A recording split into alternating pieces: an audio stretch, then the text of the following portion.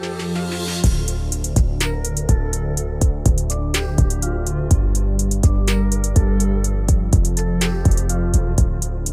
ಅತಿಯಾದರೆ ಅಮೃತವು ವಿಷ. ಅದೇ ರೀತಿ ನಾವು ಸೇವಿಸುವ ಆಹಾರಗಳನ್ನು ಒಂದು ಮಿತಿಯಲ್ಲಿ ಸೇವನೆ ಮಾಡಿದರೆ ಅವುಗಳಿಂದ ಉತ್ತಮ ಫಲಿತಾಂಶವನ್ನ ಪಡೆಯಬಹುದಾಗಿದೆ. ಅದರ ಬದಲು ಇಷ್ಟ ಎಂದೋ ಅಥವಾ ರುಚಿ ಚೆನ್ನಾಗಿದೆ ಎನ್ನುವ ಕಾರಣಕ್ಕೂ ಒಂದೇ ಆಹಾರಕ್ಕೆ ಒಗ್ಗಿಕೊಂಡರೆ ಅದರಿಂದ ಅಪಾಯಗಳೇ ಹೆಚ್ಚು. ಸಾಮಾನ್ಯವಾಗಿ ಭಾರತದಲ್ಲಿ ಅತಿ ಹೆಚ್ಚು ಜನ ಕುಡಿಯುವ ಪಾನೀಯಗಳಲ್ಲಿ ಚಹಾ ಕೂಡ ಒಂದು. ಅದರಲ್ಲಿ ಹಲವು ವಿಧಗಳಿವೆ. ಶುಂಠಿ ಟೀ, ಏಲಕ್ಕಿ ಟೀ, ಲೆಮನ್ ಟೀ ಇತ್ಯಾದಿ.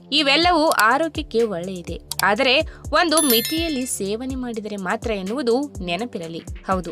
ಮುಖ್ಯವಾಗಿ ಇಲ್ಲಿ ಹೇಳುತ್ತಿರುವುದು ಶುಂಠಿ ಟೀಯ ಬಗ್ಗೆ. ಶುಂಠಿ ಟೀ ಆರೋಗ್ಯಕ್ಕೆ ಬಹಳ ಒಳ್ಳೆಯದು. ದೇಹವನ್ನು ಒಳಗಿನಿಂದ ಬೆಚ್ಚಗಿಡಲು ಶುಂಠಿ ಸಹಾಯಕವಾಗಿದೆ. ಅಲ್ಲದೆ ಅಸ್ತಮಾ ರೋಗಿಗಳಿಗೆ ಬೆಸ್ಟ್ ಮನೆಮದ್ದು ಅಂತಲೇ ಹೇಳುತ್ತಾರೆ. ಆದರೆ ಇದನ್ನು ಹೆಚ್ಚು ಸೇವನೆ ಮಾಡಿದರೆ ಕೆಲವು ಅನಾರೋಗ್ಯ ಕಾಡುತ್ತದೆ. ಹಾಗಾದ್ರೆ ಅವುಗಳು ಯಾವುವು ಎಂಬುದನ್ನ ಇವತ್ತಿನ ವಿಡಿಯೋ ಮುಖಾಂತರ ತಿಳಿದುಕೊಳ್ಳೋಣ. ಅದಕ್ಕಿಂತ ಮುಂಚೆ ನೀವಿನ್ನೂ ನನ್ನ ಚಾನೆಲ್ಗೆ ಸಬ್ಸ್ಕ್ರೈಬ್ ಆಗಿಲ್ಲ ಅಂದ್ರೆ ಪ್ಲೀಸ್ ಸಬ್ಸ್ಕ್ರೈಬ್ ಮಾಡ್ಕೊಳ್ಳಿ. ಹಾಗೆ ಪಕ್ಕದಲ್ಲೇ ಇರುವಂತಹ ಬೆಲ್ ಐಕನ್ನ ಕ್ಲಿಕ್ ಮಾಡಿ. ಕೆಲವರದ್ದು ಉಷ್ಣ ಪ್ರಕೃತಿಯ ಶರೀರವಾಗಿರುತ್ತದೆ. ಈ ರೀತಿ ಇದ್ದವರು ಶುಂಠಿ ಟೀಯನ್ನ ಪದೇ ಪದೇ ಕುಡಿದರೆ ದೇಹದಲ್ಲಿ ಉಷ್ಣತೆ ಹೆಚ್ಚಾಗಲಿದೆ. ಇದರಿಂದ ಚರ್ಮ ಡ್ರೈ ಆಗುವುದು, ಕಣ್ಣಿನಲ್ಲಿ ತುರಿಕೆ, ಉಗುರಿನ ಬಿಳಿ ಚರ್ಮ ಏಳುವುದು ತಲೆನೋವು ಕಾಣಿಸಿಕೊಳ್ಳುತ್ತದೆ. ಅಲ್ಲದೆ ಎದೆಯುರಿ, ಹೊಟ್ಟೆಯುಬ್ಬರ, ಗ್ಯಾಸ್ಟ್ರಿಕ್ ಸಮಸ್ಯೆ ಕೂಡ ಬರಬಹುದು. ಆದ್ದರಿಂದ ಶುಂಠಿ ಟೀಯ ಅತಿಯಾದ ಸೇವನೆ ಒಳ್ಳೆಯದಲ್ಲ. ಇನ್ನು ಗರ್ಭಿಣಿ ಮಹಿಳೆಯರಲ್ಲಿ ಶುಂಠಿಯು ವಾಕರಿಕೆ ಕಡಿಮೆ ಮಾಡಬಹುದು. ಆದರೆ ಕೆಲವು ತಜ್ಞರ ಪ್ರಕಾರ ಶುಂಠಿಯನ್ನು ಸೇವಿಸುವುದರಿಂದ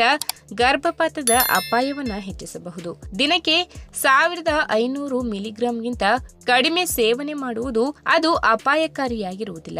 ಅದಕ್ಕೂ ಹೆಚ್ಚು ಸೇವನೆ ಮಾಡುವುದು ಗರ್ಭಿಣಿಯರಿಗೆ ಅಸುರಕ್ಷಿತವಾಗಿರಬಹುದು. ಇನ್ನು ಶುಂಠಿಯ ಸಾಮಾನ್ಯ ಅಲರ್ಜಿಯ ಪ್ರತಿಕ್ರಿಯೆಯು ಚರ್ಮದ ದದ್ದು, ಅಲರ್ಜಿಗಳಲ್ಲಿ ಕಣ್ಣುಗಳ ತುರಿಕೆ, ಚರ್ಮದ ಕೆಂಪು ಮತ್ತು ಚರ್ಮದ ಉರಿಯೂತಗಳನ್ನು ಉಂಟು ಮಾಡಬಹುದು ಹೀಗಾಗಿ ಶುಂಠಿ ಸೇವನೆಯ ಮೊದಲು ಅದರ ಅಡ್ಡ ಪರಿಣಾಮಗಳನ್ನು ತಿಳಿದುಕೊಳ್ಳುವುದು ಮುಖ್ಯವಾಗಿರುತ್ತದೆ. ಇದರಿಂದ ದೇಹಕ್ಕೆ ಎಷ್ಟು ಅವಶ್ಯಕವೋ ಅಷ್ಟೇ ಸೇವನೆ ಮಾಡಬಹುದು. ಇನ್ನು ಇದನ್ನ ಓರಲ್ ಅಲರ್ಜಿ ಸಿಂಡ್ರೋಮ್ ಎಂದು ಕರೆಯುತ್ತಾರೆ. ನೀವು ಕೆಲವು ಆಹಾರಗಳನ್ನು ಸೇವಿಸಿದಾಗ ಕೆಲವು ಅಲರ್ಜಿಗಳು ಉಂಟಾಗುತ್ತವೆ. ರೋಗ ಲಕ್ಷಣಗಳು ಸಾಮಾನ್ಯವಾಗಿ ಕಿವಿ, ಚರ್ಮ ಮತ್ತು ಬಾಯಿಗೆ ನಿರ್ದಿಷ್ಟವಾಗಿರುತ್ತವೆ. ಅಂತಹ ಒಂದು ಅಲರ್ಜಿಯು ನೀವು ಶುಂಠಿಯನ್ನ ಸೇವಿಸಿದಾಗ ಸಂಭವಿಸುತ್ತದೆ. ಎಲ್ಲ ವ್ಯಕ್ತಿಗಳಲ್ಲಿ ಅಲ್ಲ.